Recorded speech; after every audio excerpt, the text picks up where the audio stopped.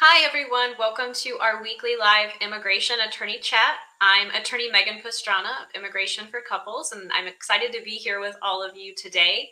So, marriage on a tourist visa, and I made this part two because I recently released a video. A lot of people have been asking, and there's so many rumors around this. I've made videos about it before because I really want individuals to understand um, whether or not it's it's lawfully allowed to enter the United States on ESTA or on a tourist visa and get married. And so the, the short answer is yes, there is no law against you entering on ESTA or a tourist visa to get married in the United States and then leave the United States.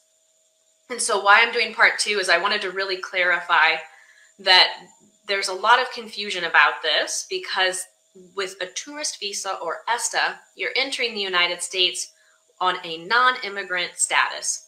And that basically means that you don't have immigrant intent. You don't have intent to remain in the United States and live, that you're just coming for the limited purpose of travel, of visiting, and that you will leave before your stay expires, that you don't plan on staying here, living here, getting married, and filing for your green card here.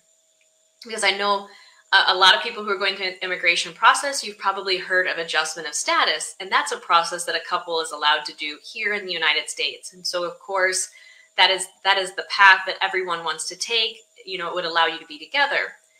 The problem, though, of coming to the U.S. to get married, and if you were to come here, get married, and stay, that's when it becomes a problem. So, immigration doesn't allow you to come on a tourist visa or ESTA with the intent to get married, stay, and file for adjustment of status. And the reason that is, is because that would be considered fraud. And so I know there were people in the Facebook group that were asking, would it be considered fraud? So I've had multiple questions on this, and they said, would it be considered fraud if if my my fiance comes on a, on a tourist visa or ESTA, we get married, and then and then we stay in the United States. And so that is fraud because when you receive ESTA, when you receive your tourist visa, you are telling immigration that my intent my intent is only to go to the U.S. and and visit. I don't plan on staying and living there. So when you come and then you get married and then you stay here, live here, and file for your adjustment of status, basically immigration sees that as that you were lying, that you weren't being truthful. And so that's when it becomes a problem. But if you do plan on just coming here and getting married and then leaving and completing a spouse visa process abroad, that that would be lawfully uh, allowed.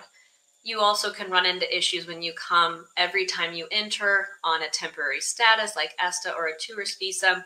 You are at the discretion of that of that CBP officer when you're entering. So if they believe that you don't have the right intent when you're entering the United States, they can they can deny you entry. But we do have many clients that we have helped that are able to come, get married, and then we can file for their, their spouse visa and, and they can complete the process abroad. But yes, that is allowed because I know a lot of people are asking that because maybe your your fiance is able to more easily come to the US and get married and maybe there's reasons that you aren't able to leave and go to their country and get married. So that would be a possibility.